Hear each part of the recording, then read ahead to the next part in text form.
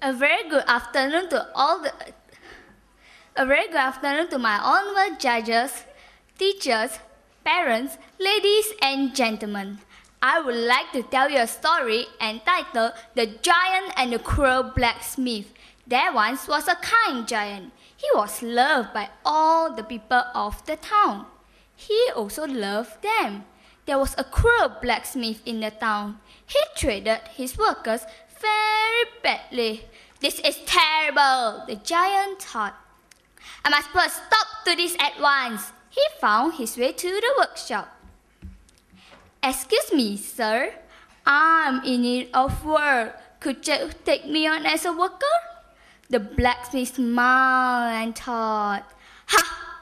Such a big, strong man could do the work of ten men. I can save money. He decided to take him on.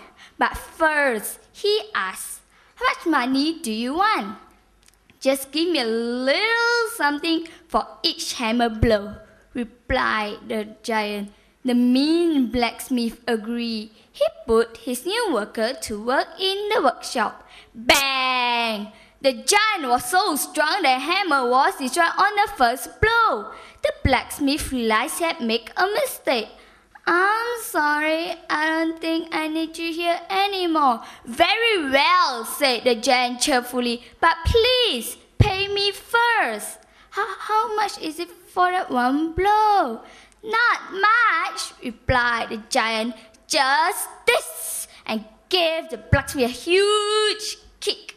The kick sent him flying to the rooftop. This is a lesson for you. Don't treat your workers belly anymore, the kind giant said. Thank